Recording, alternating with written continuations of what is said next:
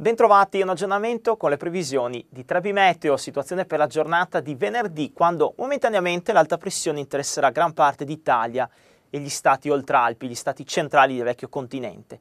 Qualche locale fenomeno solo all'estremo sud. Poi nel weekend si presenterà una perturbazione da ovest, una saccatura atlantica con piogge che via via entro domenica bagneranno molte zone dello stivale, soprattutto il nord ed il medio Tirreno.